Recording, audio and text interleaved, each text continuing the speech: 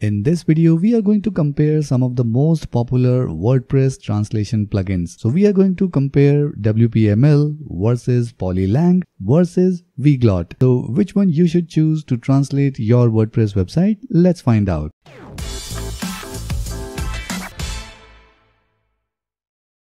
Hi, my name is Ankit and welcome to Magazine 3 YouTube channel where we talk about everything related to WordPress.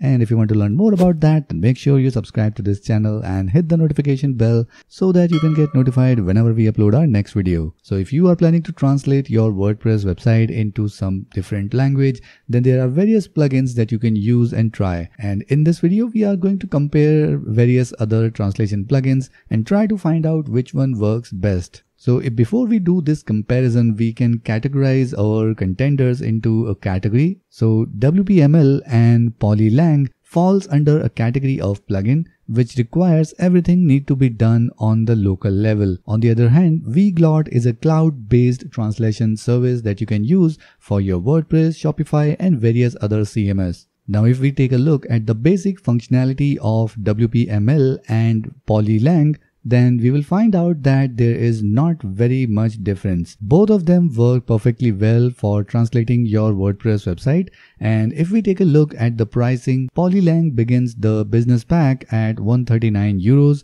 where you will be able to translate your WordPress website into multi-language and it also covers the WooCommerce shop translation. And if we check the pricing of WPML, their most popular multilingual CMS starts with 99 only and that also supports the e-commerce translation. Now when we talk about the number of languages that are supported by both of these plugins, Polylang supports more languages as compared to WPML and both of them works pretty well when it comes to the automatic translation. They use various API from Google and do the automatic translation which is perfect most of the time but you can also use the manual translation for your website and that is actually the most effective way to translate your site. Along with that, both plugins do a pretty good job in translating your website theme, plugins as well as media files. But as a beginner, Polylang got an advantage because it offers a free version.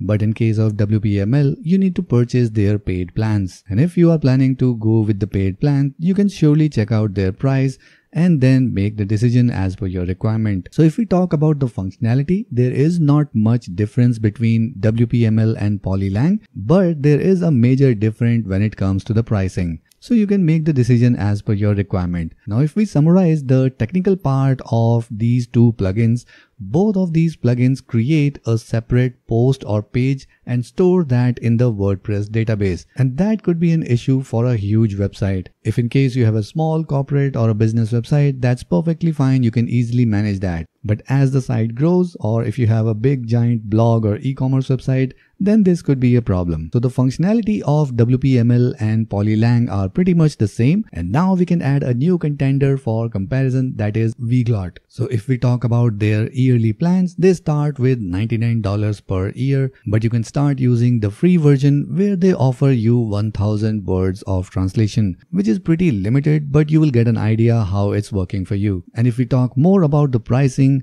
Weglot pricing are based on number of words or the number of translation languages that you want to do. On the other hand, WPML and Polylang are based on their packages. So you don't have to worry about how many words you have translated. But in Weglot, it is completely based on how many words you are translating. So again, if you have a big giant blog or an e-commerce website, then this could be a little bit expensive for you. But here comes the biggest advantage of this Weglot service. It is a cloud-based service and its translations are done by using the machine API. So there is no additional burden on your database and everything will be done in real time and that is a huge advantage if you want to save space on your database. Now both WPML and Polylang gets the plugin installed in WordPress backend and there you do all the settings and all that stuff but on the other hand, Weglot is a cloud-based service, so you don't have to do any settings in your WordPress backend. All you have to do is just enter the API in the WordPress backend. And all the things and the backend will be handled by your Weglot account on their website. Along with that, Weglot offers 100 plus languages for translation, whereas WPML offers around 40 plus and a little bit more for Polylang. So if the language that you want to translate your website is available with Weglot, then that's a clear choice that you need to go with that only. In the end, we can say that if you have a small website and you don't mind creating duplicate pages and database, and you also want to do manual translation, then WPML or Polylang, you can choose any one of them, depending upon your budget. But when it comes to a high-end real-time machine API-based translation, then Weglot is best but again, it is based on number of words as well as number of languages you want to translate to. So you might need to consider that if that suits your budget. So if you have any questions regarding WordPress, then feel free to add that in the comment section below. If you like this video, then make sure you hit the like button and to watch more videos like this, subscribe to this channel and hit the notification bell so that you can get notified whenever we upload our next video. And if you need any expert help regarding your website, you can connect with us using the link given in the video description below. So that's it for this one and I'll see you in the next video.